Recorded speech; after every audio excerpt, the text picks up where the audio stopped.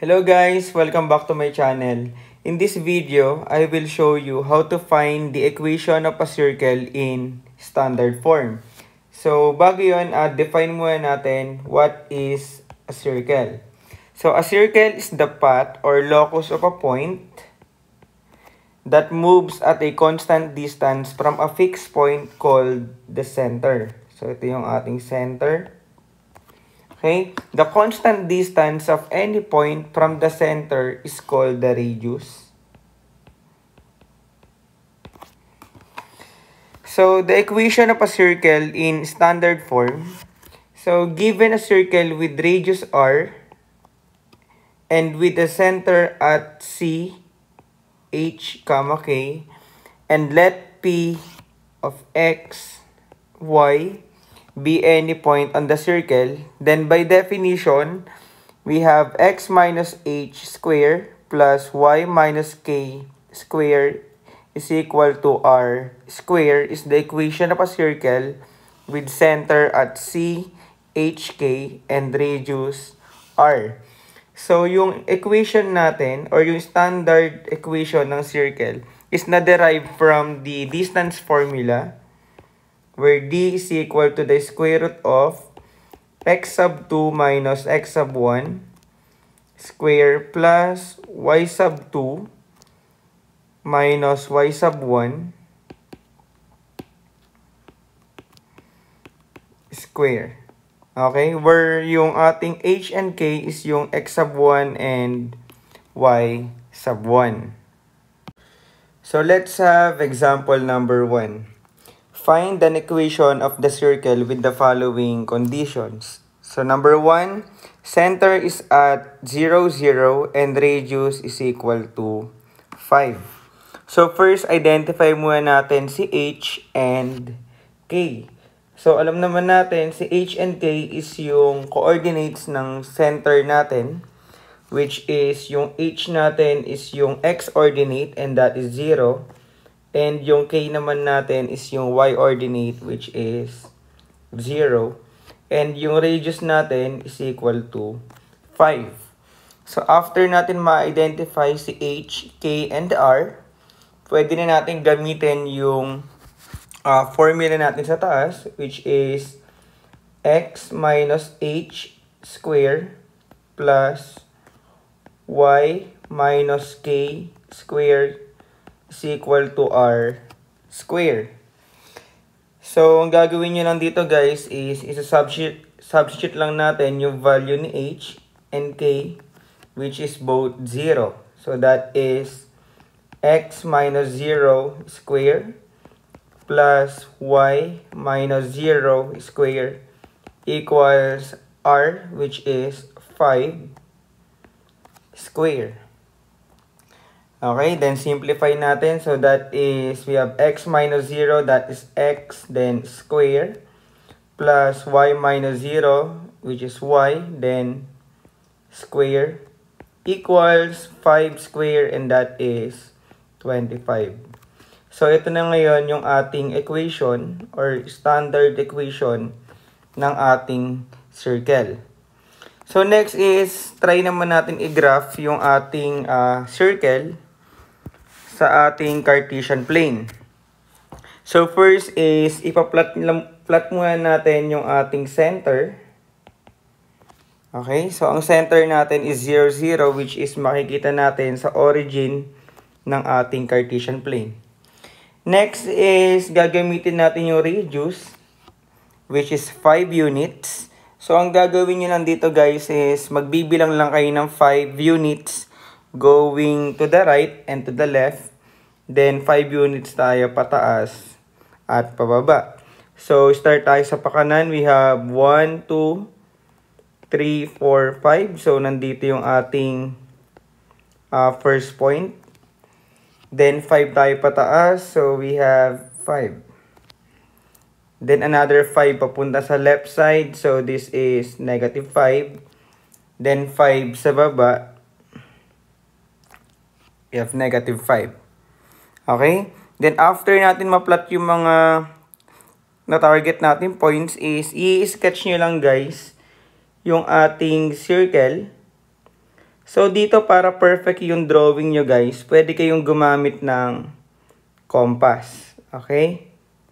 So, ngayon, after natin ma-plot yung apat na points, mabubuo na natin yung ating circle.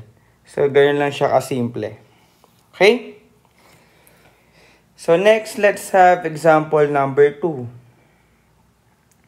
Center is at negative 4 comma 5 and radius is equal to 4. So again, ang first step natin is identify muna natin si H, K, and R.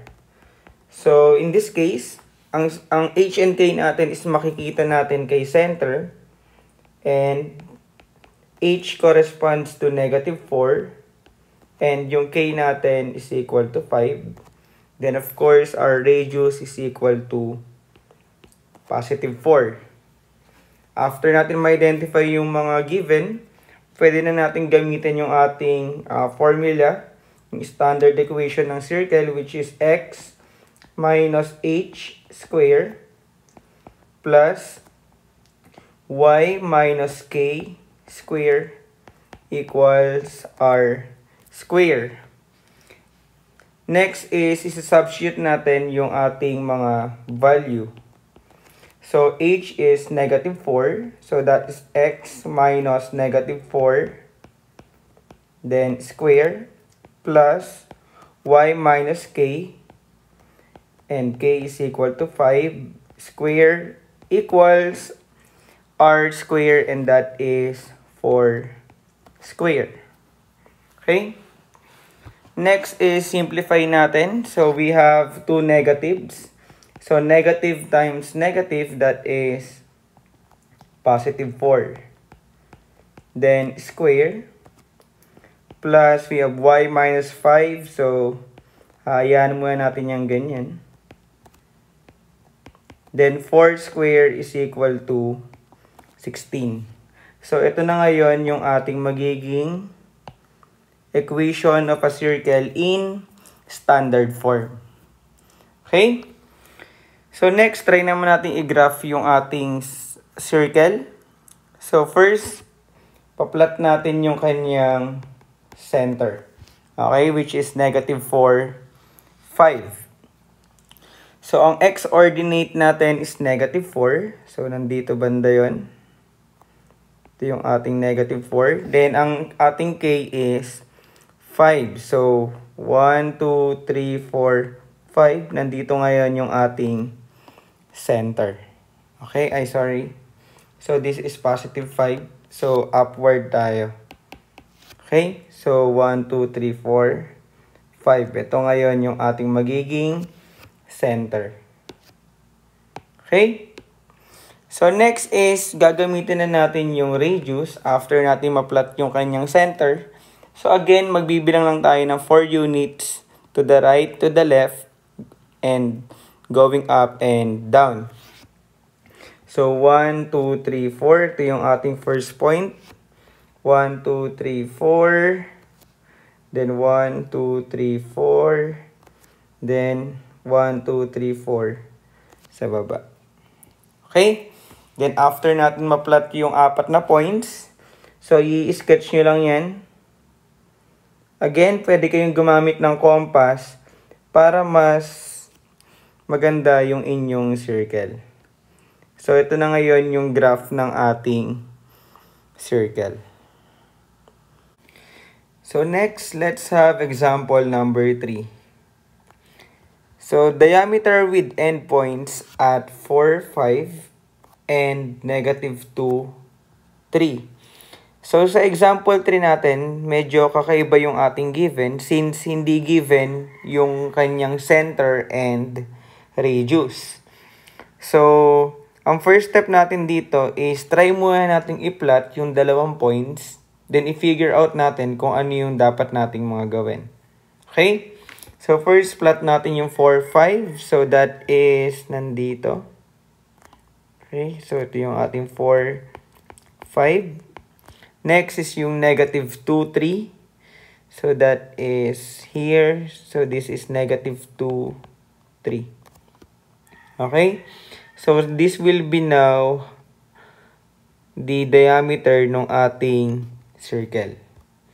Okay? So, alam naman natin na pagka diameter ang pinag-uusapan, sa gitna ng ating diameter is doon matatagpuan yung ating center.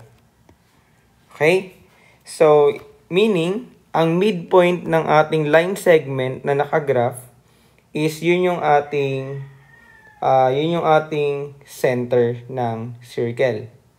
So, para makuha yung ating center, ng circle is gagamit tayo ng midpoint formula. Okay? So, to solve for h, ang gagawin lang natin, since yung h is yung x-ordinate ng center, ang gagawin natin is kukunin natin yung midpoint ng ating x sub 1 and x sub 2.